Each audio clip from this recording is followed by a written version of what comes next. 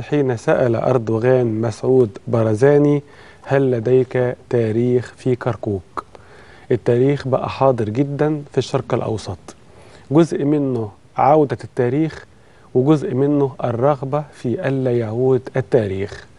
الرئيس أردوغان اتكلم وقال إنه مسعود برزاني بيتواجد في أكتر من مكان ما كانش فيه وجود تاريخي للأكراد فيه. وقال إنه بيكلم برزاني بيقول له انت مالكش تاريخ في كركوك وانت موجود في كركوك ليه؟ والاتراك لما راحوا ودخلوا شمال سوريا السوريين قابلوهم وقالوا لهم أهلا باحفاد السلطان محمد الفاتح.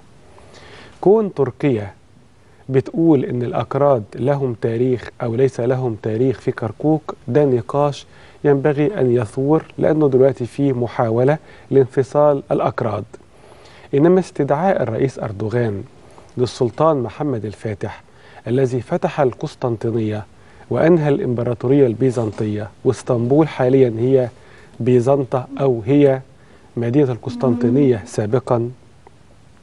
هذا الاستدعاء ربما ليس في محله الآن إما إنه بيثير صراع حضارات من جديد ويذكر بتاريخ مضى أو الأمر الثاني إنه ليس السلطان محمد الفاتح هو أو ليس رئيس أردوغان هو الامتداد للسلطان محمد الفاتح.